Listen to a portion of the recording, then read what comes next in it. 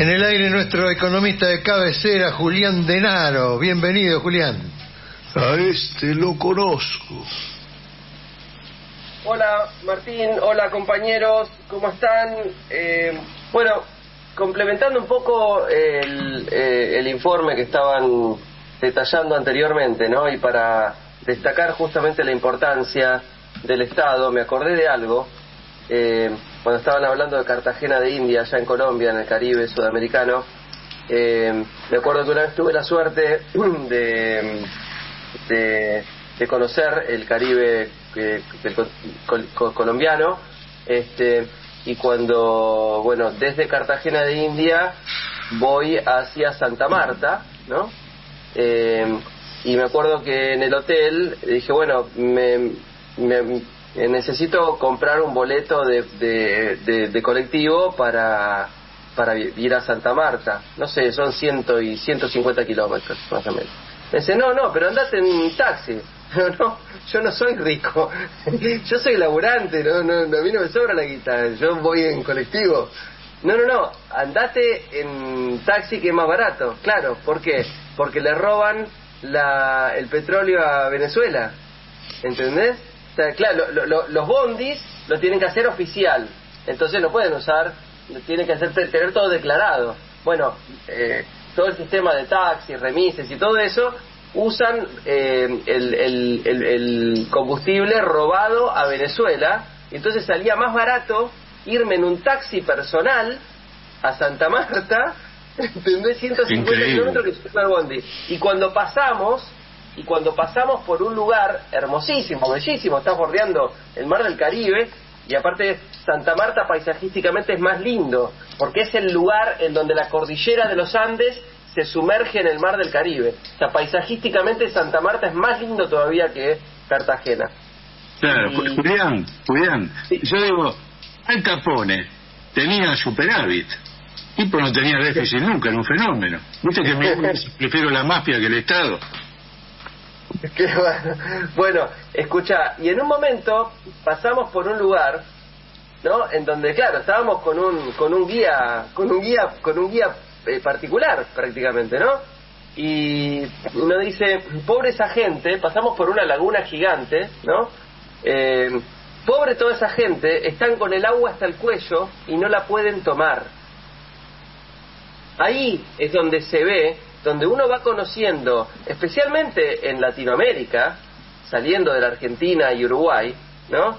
Este, en, en, en, en, toda Latinoamérica, cuando uno se pasa por situaciones así, dice, a la pelota, lo que es la ausencia del Estado.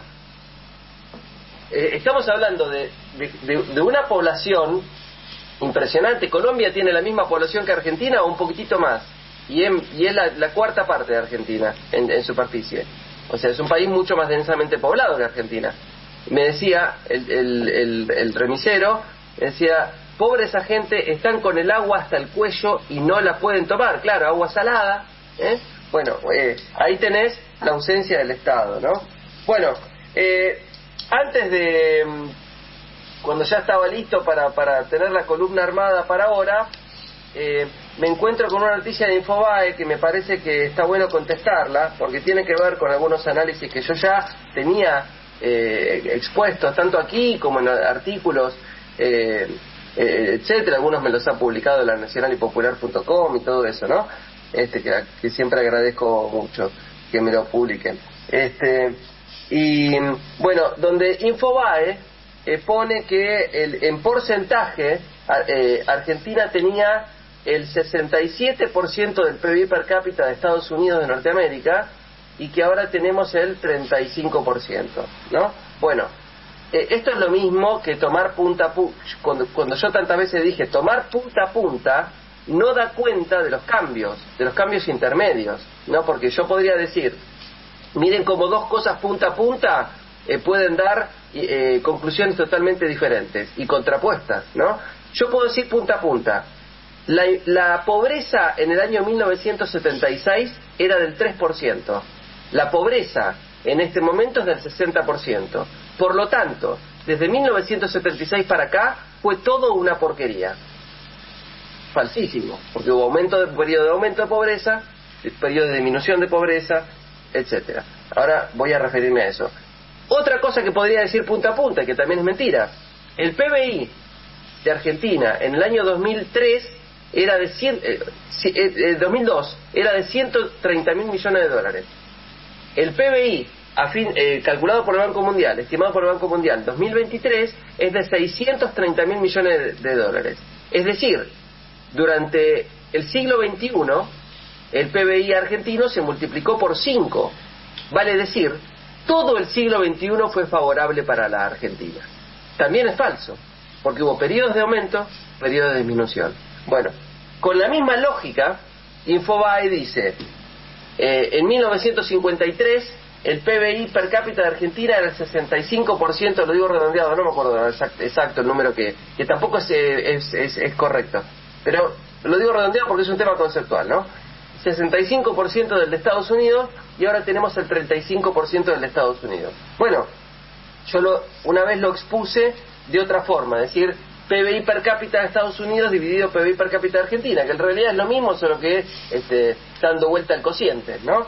Eh, y dando vuelta al cociente, nosotros tenemos que en 1880 teníamos el 43%, en PBI per cápita, eh, no PBI per total, PBI per cápita teníamos el 43% del de Estados Unidos. Fíjense eh, cómo, eh, cómo ha destruido la Argentina lo que vino después, que en 1943 el PBI per cápita argentino era el 39% del de Estados Unidos, y si bajó del 43 al 39. Pero después, desde el 43 hasta el 55, vino Perón. Y durante Perón, el PBI per cápita argentino creció más que el PBI per cápita de Estados Unidos, a tal punto que en 1955 es 51%. ¿Sí? Eso se mantiene más o menos constante hasta 1975. Y después, porque una de las premisas que toma Infobae dice, porque si volvemos a abrir el comercio exterior, las ideas de la apertura del comercio exterior son las que nos van a conducir a regresar a, mejores posiciones. Bueno, ¿cuándo estuvo abierto el, comercio exterior? Entre 1880 y 1943. Bueno, bajamos del 43% al 39%. Con Perón aumentamos del 39% al 51%. Después vino un periodo de apertura del comercio exterior hasta el 2002 y fíjense la caída abrupta que tenemos, del 51% al 25%. ¿Escucharon eso? La, apertura del comercio exterior nos bajó a la mitad la, la, participación nuestra en comparación con Estados Unidos de PIB per cápita, del 51% al 25%. Después, les comento, Infobae, antikirchneristas, antiperonistas y, y, y, gorilas y todo lo que me escuche, les comento estos son datos duros, esto no se puede discutir. Aparte lo trajo Infobae, ¿está? Con datos de Infobae lo estoy, lo estoy haciendo, pero obviamente lo estoy haciendo subdividiendo los periodos. Entre el 2002 y el 2015, durante el periodo kirchnerista, el PBI per cápita argentino aumentó desde el 25% hasta el 33% del cápita de Estados Unidos. Después vino Macri y de nuevo una pseudo apertura, porque no fue tan total. Eh, fue, fue, pero veníamos del kirchnerismo, no veníamos del gobierno de Cristina, entonces no se podía romper absolutamente todo tan rápido como lo están haciendo ahora. Este, y bajó ese porcentaje con Macri al 2017 31%, al 2019 28%. Y después les voy a contar el último dato que yo tengo, es que en el 2000 no, tenía el del 2020. No, no, el último dato que yo tengo es el del 2023. Está bien. 2023 es. Eh, bueno, yo tenía otro dato acá, pero no importa. 2023. Vamos a poner acá 2023. Este, sí, lo, lo copié mal. 36%. Es decir, con Alberto Fernández, un gobierno que no ha distribuido los ingresos, que no ha recuperado el poder adquisitivo del salario, que no recuperó este, los puertos del canal del, río Paraná, que no hizo el dragado del canal Magdalena, que no hizo de vuelta los contratos mineros, eh, millones de cosas.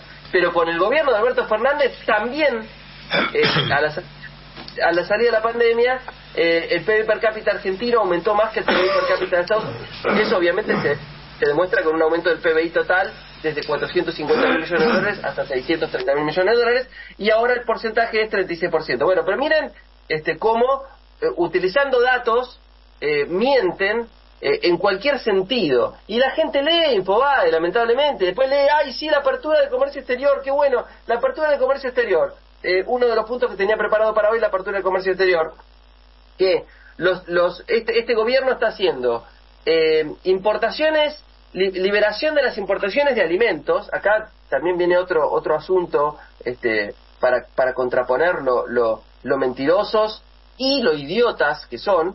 Eh, pero importación de alimentos, porque ¿qué decían? Porque los empresarios se equivocaron.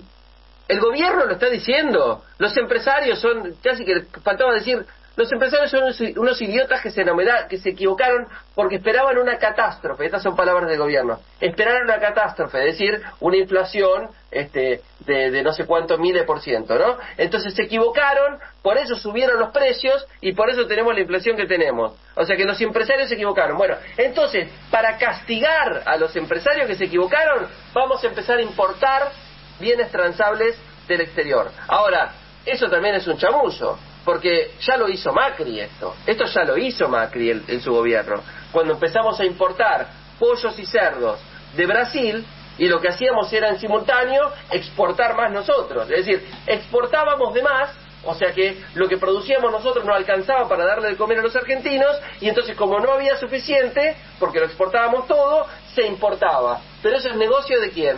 De los intermediarios que se dedican al comercio exterior, que son ocho empresas, nueve empresas. Entonces, el negocio de toda la Argentina, la guita, la guita de los argentinos, se la quedan ocho tipos. Eso es lo que hizo Macri en su primer gobierno y lo que está haciendo Milei ahora. Y encima ahora es peor todavía. Es más, cámaras de pines y cámaras industriales le están diciendo al gobierno de Milei, escúchame, están liberando las importaciones para los bienes finales, pero eh, las importaciones de insumos que necesita la industria para poder producir pagan este, los, los impuestos países, y pagan los aranceles. Es una locura. Y después vienen a hablar de competitividad. Porque ¿qué sería competitividad?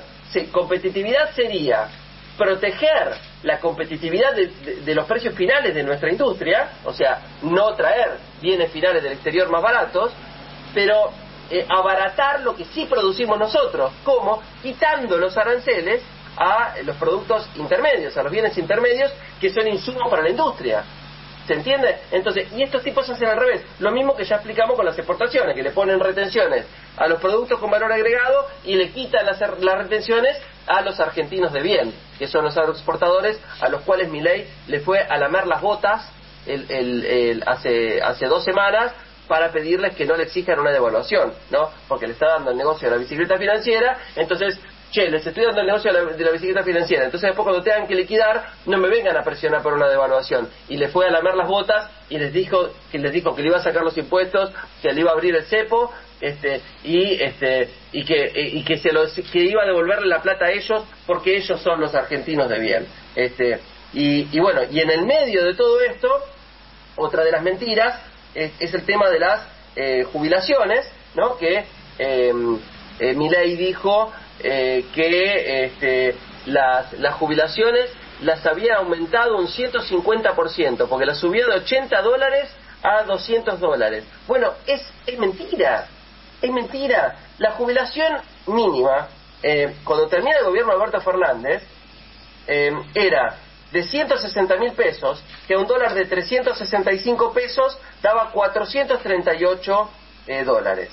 La jubilación mínima hoy de 200 mil pesos, dividido 850 pesos el dólar, da 235 dólares. Es decir, que el gobierno de Miley la bajó a la mitad, de 440 a 220, lo estoy diciendo redondeado para que se entienda, lo bajó a la mitad, de 438 a 235. Pero hay algo peor todavía, hay algo peor que esto, y es en términos del poder adquisitivo. Cuando termina el gobierno de Alberto Fernández, ¿no? que está muy lejos de, lo que fue el gobierno de Cristina, ¿no? Cuando terminó el gobierno de Cristina, la canasta básica estaba en cuatro mil pesos y la jubilación mínima en cinco mil pesos. Es decir, que la jubilación mínima compraba una canasta básica y cuarto.